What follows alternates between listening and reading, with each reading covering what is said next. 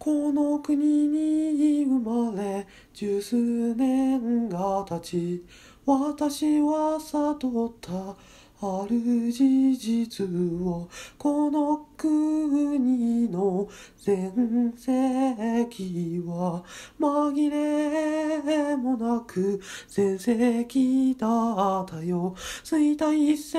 る民の衰退せる国老人だらけのシルバー民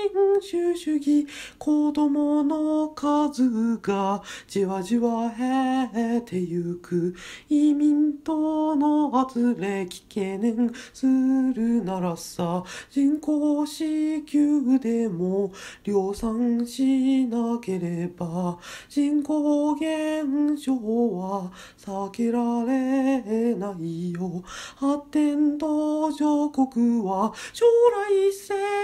がある我が祖国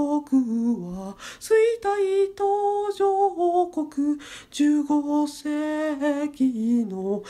東ローマ帝国16世紀のポルトガル王国17世紀のスペイン帝国18世紀のオ